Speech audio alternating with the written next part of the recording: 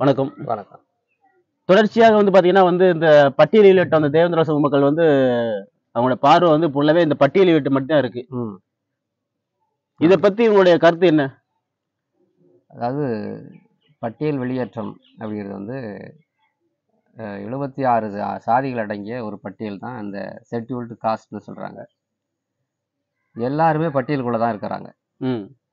பிசியாக இருக்கட்டும் எம்பிசியாக இருக்கட்டும் ஓபிசியாக இருக்கட்டும் எல்லாமே ஒரு பட்டியல் வகைப்படுத்தப்பட்ட பட்டியல். அது எப்படி வகைப்படுத்துகிறாங்க அப்படின்னா சமூக ரீதியாகவும் பொருளாதார ரீதியாகவும் இந்த இரண்டு ரீதியாகவும் இருக்கக்கூடியவர்களை வந்து கேட்டகரியாக அதாவது அடுக்கடுக்கு நிலைகளில் வந்து வகைப்படுத்துகிறாங்க அதனால தான் இன்றைக்கும் வந்து சமூக நீதிலாம் சொல்லுவாங்க சில பேர். சமூக நீதி அப்படிங்கிற அந்த தத்துவத்தின் அடிப்படையில் தான் இந்த இடஒதுக்கீடு இந்த பட்டியல்கள்லாம் வரையறுக்கப்பட்டதுன்னு சொல்லுவாங்க. அப்போ இப்படி உருவாக்கப்பட்ட பட்டியல்களில் தேவேந்திர குல வேளாளர்னு சொல்லக்கூடிய அந்த ஏழு பிரிவுகளை வந்து ஒன்றாக இணைத்து தேவேந்திர குல வேளாளர்கள்னு ஒரு அரசாணை வந்து சமீபத்தில் பெற்றாங்க சரி. ஆனால் அந்த அரசாணையோட சேர்ந்து பட்டியல் வெளியேற்றம் வேண்டும் அப்படின்ற ஒரு கோரிக்கையும் அன்னைக்கு கடுமையாக எழுந்தது. கண்டிப்பா. உதாரணத்துக்கு சொல்லணும்னா புதிய தமிழக கட்சி. அவங்களாம் ஒரு மாநாடெல்லாம் போட்டு பட்டியல் வெளியேற்ற மாநாடு இதெல்லாம் போட்டு அந்த மாநாட்டிலே வந்து பெரிய அளவில் அறிவிச்சாங்க. கண்டிப்பா மதுரையில ஜான் பண்டி அவர்கள் போட்டாங்க. அந்த பட்டியலில் விட்ட வந்து கிடைக்கணும் அப்படி எல்லாருமே தஞ்சாவூர்ல கூட போராட்டம். பண்ணாங்க. நம்ம சமூக மக்கள் எல்லாரும். ஆமா. அப்ப அந்த நிலைமையில இந்த பட்டியல் வெளியேற்றங்கிறத வந்து ரெண்டாம் தரமா வச்சுக்கிட்டு பெயர் ஆணை தேவேந்திர குல வேளாளர். ம். உங்களுக்கு தெரியும் அந்த பெயர் ஆணைக்கு வந்து எவ்வளோ எதிர்ப்புகளை வந்து மக்கள் சந்திச்சாங்க.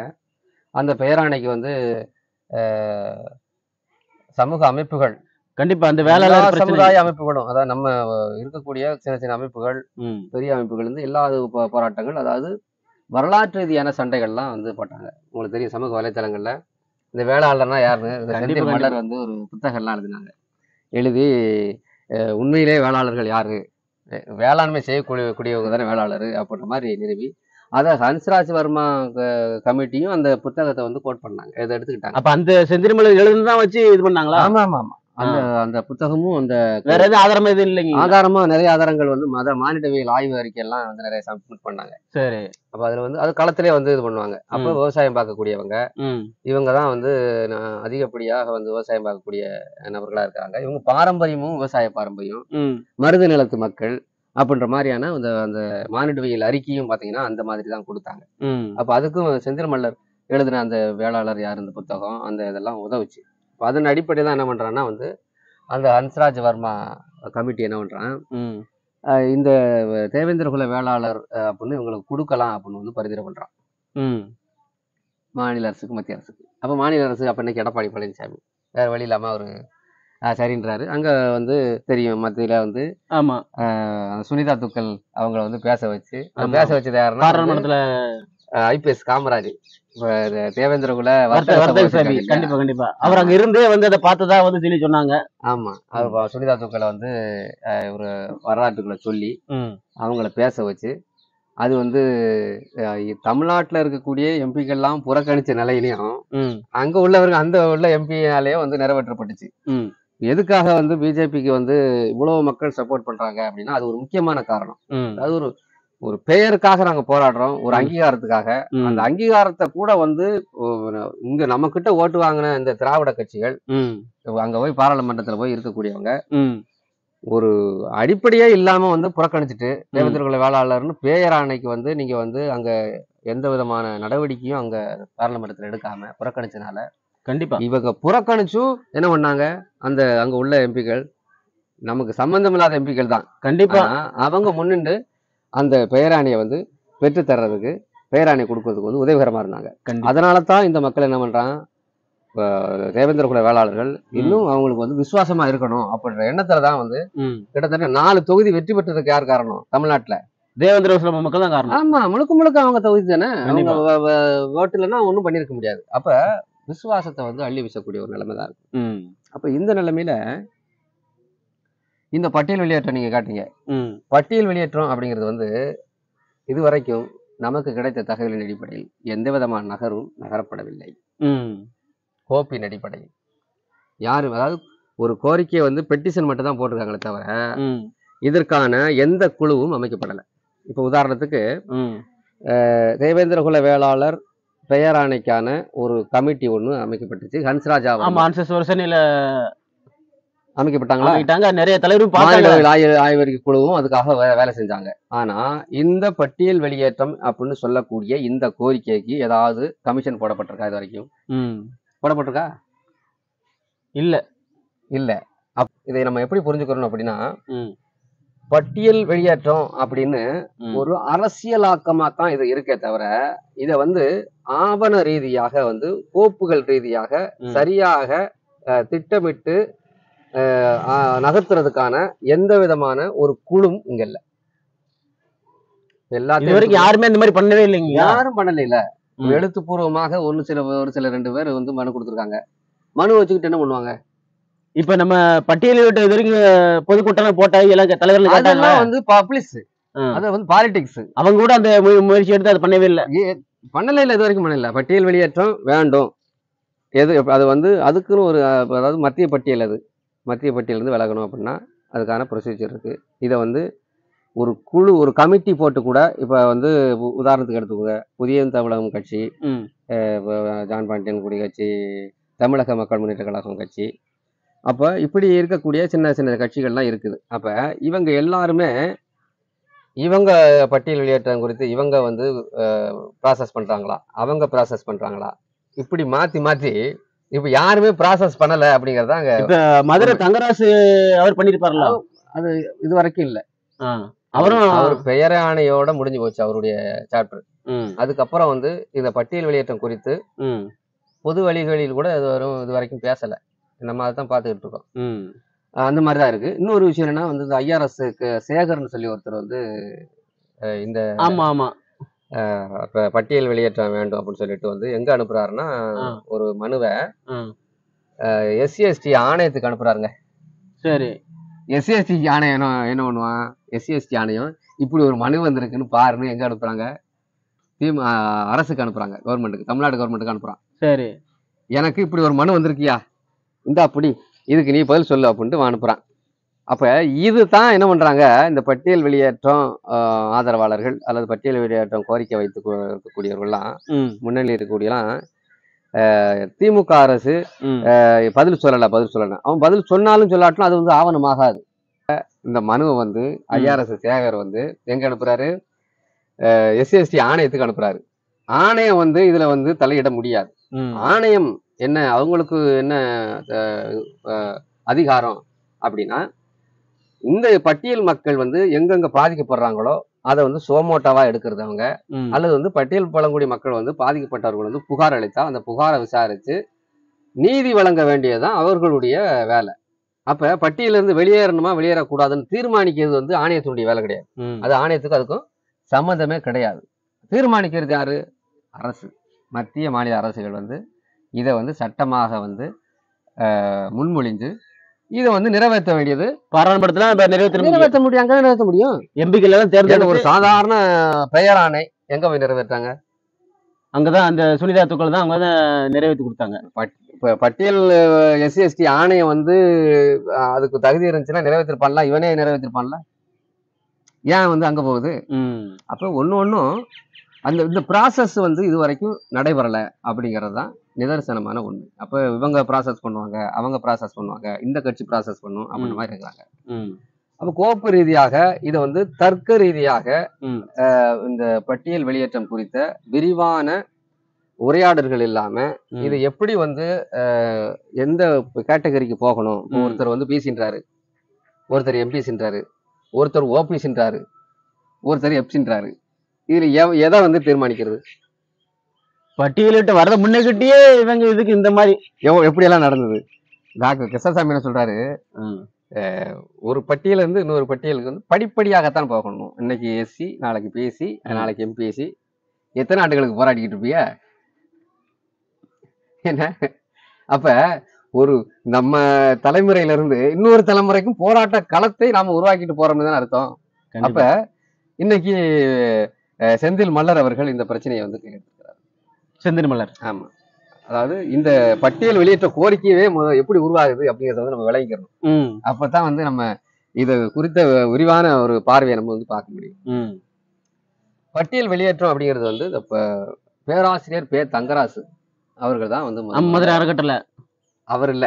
அது வேற தங்கராசு. அது தன்னார்வ அற- அறக்கட்டளை. சரி. தேவேந்திர தன்னார் அறக்கட்டளை அவர். அவர் இல்ல. இவர் வந்து பேராசிரியர் பே தங்கராசு. சரி. இவர் தான் இந்த பட்டியல் வெளியேற்றத்துக்கான முன்னோடி. முத முதல்ல அவர் தான் முதல் அவர் தான் சொல்றாரு. அப்ப அதுக்கப்புறம் தான் என்ன ஆகுதுன்னா இது வந்து பொது வழிகள்ல வந்து இந்த விஷயங்கள் வந்து. பல ஆண்டுகளுக்கு பிறகுதான் பர அதை வந்து பரப்பப்படுது பொது வழிகள்ல. அப்ப அது அவர் என்ன அதுல கோட் பண்றாரு அப்படின்னா இந்த ஷெட்யூல்டு காஸ்ட் இருக்கக்கூடிய இந்த தேவேந்திர குல வேளாளர்களை ஒரு பிரச்சனை வந்துச்சுன்னா தலித்துன்னு அடையாளப்படுத்துறான் ம். ஆதி திராவிடன்னு அடைய அடையாளப்படுத்துறான். அரிசனன்னு சொல்றான். அப்ப பாதிக்கப்படுறது ஃபுல்லா நம்ம. இவன் ஒட்டுமொத்தமா ஒரு ஒரு பார்வையா பாத்துக்கிட்டு இருக்கான். அப்ப. அதே எம்பிசில எடுத்துக்கோங்க. ஒரு பிரச்சனை நடந்தது அப்படின்னா இவர்கள் தான் அப்படின்னு கோட் பண்ணி சொல்றான். அப்ப எம்பிசின்னு தானே நீ சொல்லணும்? எம்பிசிக்கு இன்னொரு பேர் ஒரு நாலஞ்சு பேர் வைக்க வேண்டியதானே நீ? பிசிக்கு ஒரு நாலஞ்சு பேர் வைக்க வேண்டியது கண்டிப்பா. அப்ப கண்டமா கண்டவன்லாம் கண்ட பேர் வைக்கிறான். இந்த பட்டியல்கள் அப்படிங்கிறது வந்து ஒரு சிறைக்கூடமாகவே இருக்குது. அப்ப இத இத வந்து நம்ம வந்து தகர்க்கணும் அப்படிங்கிற வகையில தான் வந்து பேராசிரியர் பே தங்கராசு அவர்கள் வந்து இந்த கோரிக்கையை வந்து முன்வைக்கிறாங்க. இத பல ஆண்டுகளுக்கு அப்புறம் இதை யார் கையில எடுக்கிறாங்க அப்படின்னா செந்தில் மலர் தான் கையில எடுத்தாங்க ம். இத பொதுத்தளத்துல சரி. கொண்டு வர்றதுல வந்து செந்தில் மல்லர் அவர்கள். குருசாமி சித்தர் போன்றவங்க எல்லாம் தொடர்ச்சியா பேசிட்டு இருக்காங்க. ஆமா. தேவ ஆசீர்வாதம் இவங்கெல்லாம் வந்து தொடர்ச்சியா வந்து அவங்களுக்கு அப்புறம் செந்தில் மேல தான் கையில எடுக்காரு. செந்தில் மல்லர் கையில் எடுத்ததுக்கு அப்புறம் தான் வந்து பொது வழிகள்ல வந்து. மற்ற சமூகத்தினராலும் பேசப்படும். பேசப்பட்டு பட்டியல் வெளியேற்றமா இப்படி ஒரு கோரிக்கை வைக்கிறாங்களா அப்படிங்கிற மாதிரி வந்து அவங்க பரவலான பேச்சை வந்து உருவாக்கியவர் வந்து செந்தில் மல்லர். அவர் ஒரு புத்தகமும் எழுதியிருக்கிறாரு. வேந்தர் குலத்தின் இருப்பிடம் எது? அப்படின்ற ஒரு புத்தகம். செந்தில் மல்லர் எழுதியிருக்கிறாரு.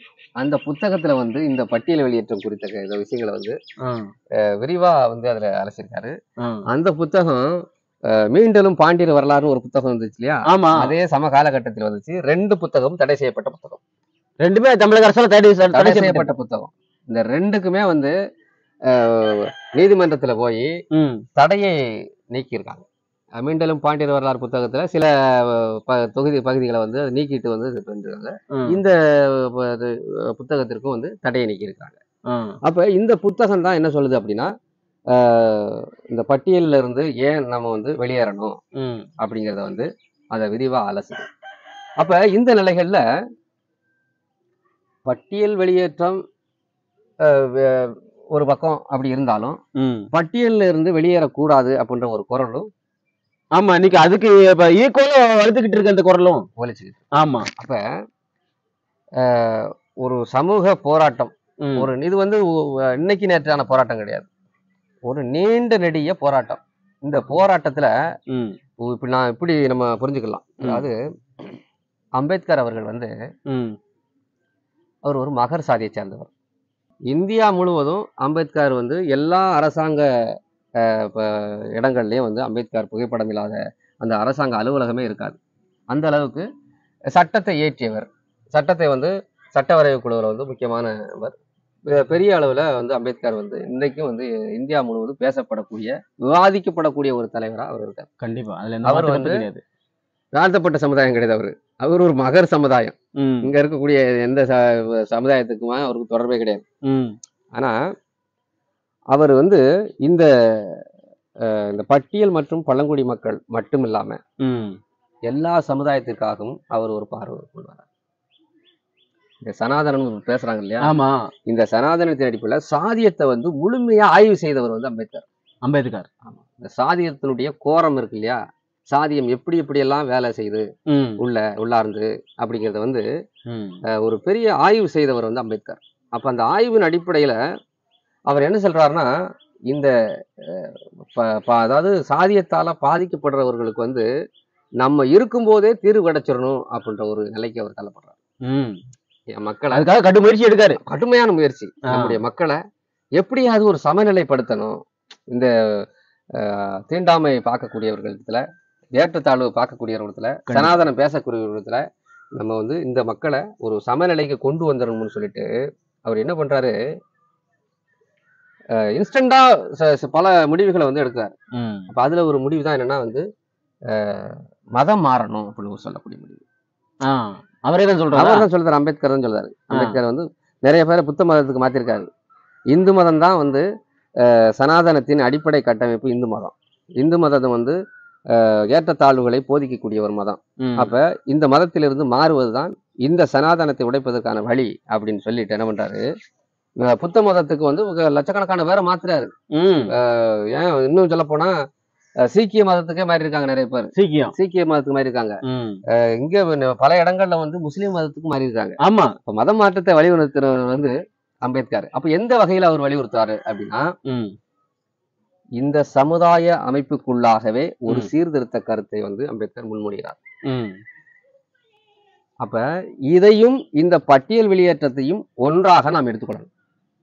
அம்பேத்கர் எப்படி வந்து மதமாற்றம் தான் தீர்வுன்னு சொன்னாரோ அதே கருத்து தான் பட்டியலில் இருந்து வெளியேற்றா எல்லாம் நமக்கு கிடைச்சிரும் அப்படின்னு சொல்றாரு ஆ.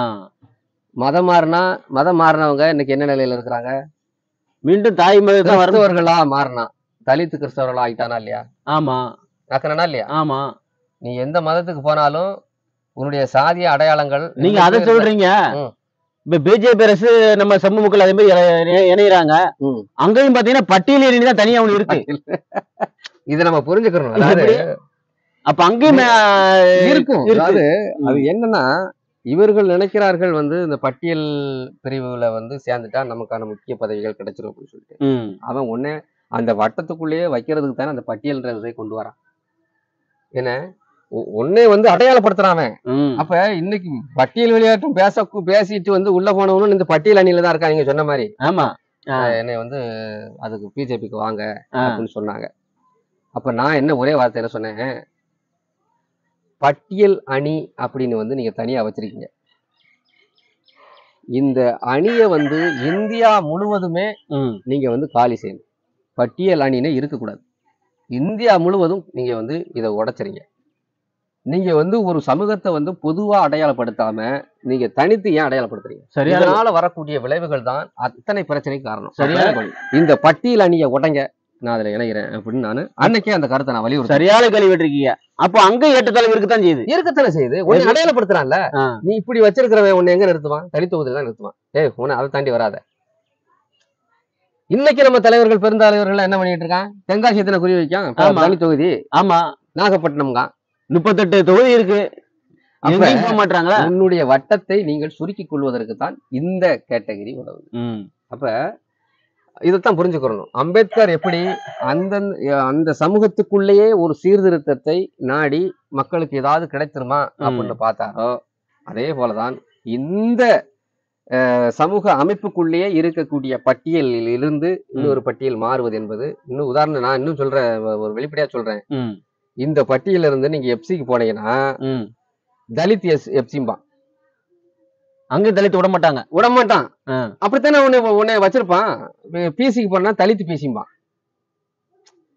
உன்னுடைய அடையாளத்தை அவன் எப்படி வைக்கணும்னு அவன் தெளிவா இருக்கான். அரசுக்கு தெரியும். உன்னைய எப்படி நடத்தணும் அப்படின்னு மேல்மட்டத்தில் இருக்கக்கூடியவர்கள் அதிகாரத்தில் இருக்கக்கூடிய வர்க்கங்கள் தெளிவா இருக்கு. அப்ப பட்டி ஒட்டுமொத்த பட்டியல்களே தகர்த்து விட்டு ஒரே சமூகமாக தமிழ் சமூகமாக ஒன்றிணையணுமா? இல்லை இன்னும் இந்த பட்டியலிருந்து இன்னொரு பட்டியலுக்கு போகணும் அப்படின்ற எண்ணத்தை உருவாக்க வேண்டுமா? அப்படிங்கிறத வந்து மக்கள் தான் புரிந்து கொள்ள வேண்டும். இது நம்முடைய கருத்து. தமிழர்களாக தமிழர் குடிகளாக எந்த பட்டியலும் எங்களுக்கு வேண்டாம். நாங்கள்லாம் ஒரே ஒரு தாய் மக்கள். ஒரு தாய் மக்களாக ஒரே பட்டியலில் நாங்கள் இணைய தயார். சகோதரத்துவமாக இருக்க தயார். இன்னைக்கு நாங்கள் அடிச்சுக்கோ நாளைக்கு குடிக்கிறோம். நாங்கள் வெட்டுப்பட்டவர்கள் தான். நாங்களும் திருப்பி வெட்டியவர்கள் தான். நாங்கள் இன்னைக்கு அடிச்சுக்கிறோம் நாளைக்கு குடிக்கிறோம். ஏன்னா நாங்கள் தமிழர்கள். எங்க அண்ணன் தம்பிகளுக்கு சண்டை வரலையா? கண்டிப்பா. பங்காளிகளுக்குள்ள சண்டை வரலையா? ஆமா. அப்ப இந்த சண்டைகளை மையமாக வைத்து எங்கள் மீது அரசியல் நடத்தினால் அதை நாங்க விட மாட்டோம். இந்த அரசியலுக்கு நாங்க பலியாக மாட்டோம். கண்டிப்பா. அப்ப எப்படி அம்பேத்கர் நான் இப்படிதான் புரிஞ்சுக்கிறணும். எப்படி அம்பேத்கர் அவர்கள் அந்த அரசியலமைப்பு சட்டத்திற்குள்ளேயாகவே அந்த தா- தாழ்த்தப்பட்டவர்கள் சொல்லப்படுகிற அவர்களுடைய பிரச்சனைக்கு இந்த சனாதனத்தினுடைய கோரத்தன்மையை உணர்ந்து இந்த சாதிகளுடைய பிரச்சனைகளை வந்து நீர்த்து போக வைக்கிறதுக்கு அல்லது சமப்படுத்துவதற்கு மதம் மாற்றத்தை எப்படி அடிப்படையாக வைத்து அம்பேத்கர் சொன்னாரோ அதற்கு ஒப்பானதுதான் இந்த பட்டியலிலிருந்து இன்னொரு பட்டியலுக்கு மாறுவது என்பது. அப்ப இதை வந்து இங்க இருக்கக்கூடிய முற்போக்குவாதிகள் புரிஞ்சு வரும் பிற்போக்குவாதிகள் எப்படி வேணாலும் பேசுவான். நம்ம அதை பத்தி பிரச்சனை கிடையாது. முற்போக்குவாதிகள் பட்டியலையே தகர்க்க வேண்டும். நம்ம ஏற்கனவே சொன்னோம் நம்ம ஆமா. பல நம்ம தேவேந்திரர் சேனா இயக்கம் சார்பா பல இடங்கள் நம்ம பேசியிருக்கிறோம். ஒரு கமிஷன் கூட அதுக்கு தொடர்ச்சியாக நம்ம அதை பத்தி தான் வலியுறுத்தி வந்துகிட்டே இருக்கோம். வலியுறுத்தி வரோம். சட்டநாதன் ஆணையம் அப்படின்னு ஒரு கமிஷன் போட்டாங்க. சட்டநாதன் ஆணையம் உங்களுக்கு தெரியும். ஆமா. அப்ப அந்த ஆணையத்துல என்ன சொல்றாங்கன்னா தமிழர்கள் ஒரு வகையாகவும் பிற மொழியாளர்கள் ஒரு வகையாகவும் இரண்டா பிரிக்கிறார்கள். அப்ப தமிழர் குடிகளாக ஒரு வகையாகவும் பிற மொழியாளர்கள் ஒரு வகையாகவும் பிரிச்சு சட்டநாதன் ஆணையம் வந்து அந்த அறிக்கையை வந்து சப்மிட் பண்றாரு. அந்த வகையில இன்னைக்கு நம்ம வந்து வலியுறுத்த வேண்டியது என்ன? சட்டநாதன் ஆணையத்தின்படி எங்களுடைய தமிழர்கள்லாம் நாங்கள்லாம் ஒரே பட்டியலிலே தயாராக இருக்கிறோம் கண்டிப்பா. பிற மொழியாளர்களை பிரி. பிற மொழியாளர்களுக்கு உரிய அங்கீகாரத்தை கொடு. அவர்களுக்கு உரிய முக்கியத்தை கொடு. இட ஒதுக்கீடை கொடு. நாங்கள் பங்காளிகளாக இருக்கிறோம். நாங்கள் இடத்தை இட பங்கீடு நாங்கள் செஞ்சுக்கிறோம்.